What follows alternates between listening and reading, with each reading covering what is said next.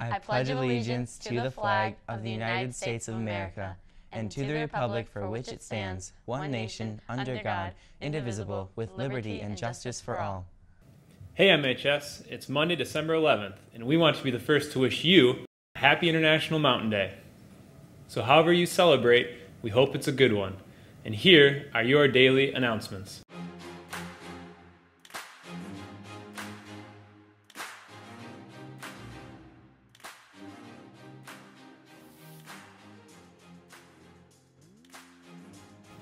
Members of Science Olympiad, don't forget you are meeting after school today in room 1314.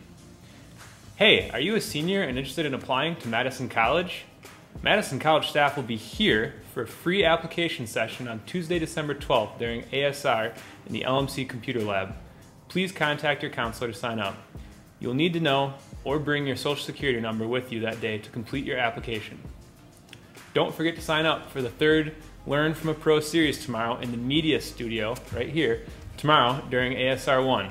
NBC TV 15 reporter Hannah Flood will share what it's like to work as a reporter. Students loved the presentation so much that we invited her back again.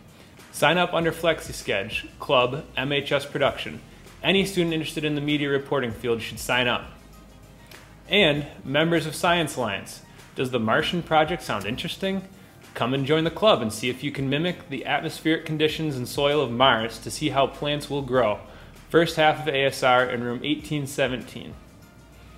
And we know it's called MHS Book Club, but the club is hosting a movie day in the LMC on December 14th, starting at 3.03 p.m. for ASR 2 and ending at 5 p.m. Do not forget the deadline to donate gently used or new mittens and other items for mom is December 15th. Congratulations to MHS senior Julia Zymitz and sophomore Shruti Parthasarathy, who were winners in the 2018 National Young Arts Foundation competition. Congratulations. Less than 800 students were honored. And congratulations to band students who attended the Percussive Arts Society International Convention. Max B took first place in the solo timpani division, and senior Alex Warholic placed third in the marching snare drum competition.